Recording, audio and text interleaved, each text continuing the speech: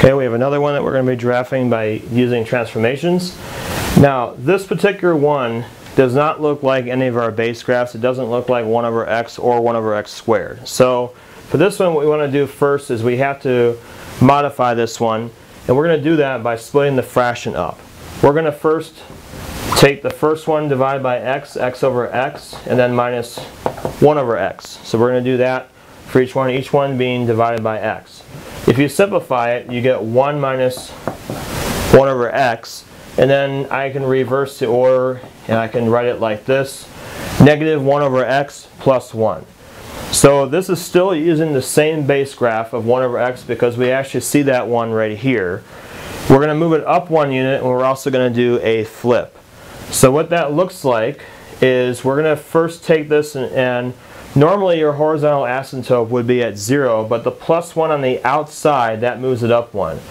So how you know if it's not left or right movement? That's because the 1 is not written underneath the fraction bar. If you have the 1 written underneath the fraction bar, then we're going to be moving it, we move it one place to the left. But here, the 1 is completely on the outside of the fraction. So if it's on the outside, that would be that plus k if we're referring to those transformation rules we did before in the past in the previous section.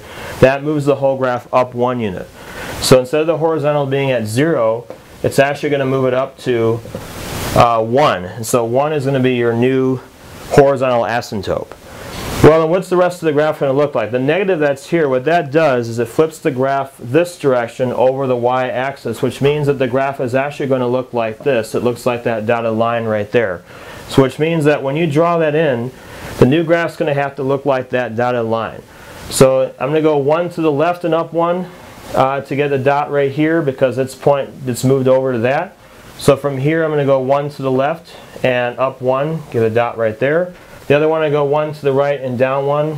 One to the right and down one means that it would cross uh, right here on the x-axis. So all I'm doing is taking my original points and I'm basically reflecting it over the line because it's got to look like these dotted lines here and that's I'm just recreating them there. So the graph is going to come down and look like this then the other one is going to look like that one. So this right here would be your uh, completed graph. We moved it up one unit and we flipped it from what the original one looks like. So we still use transformations on this one, but again, we had to modify the original one to make it look like this, so that way it's easier to see what the transformations are.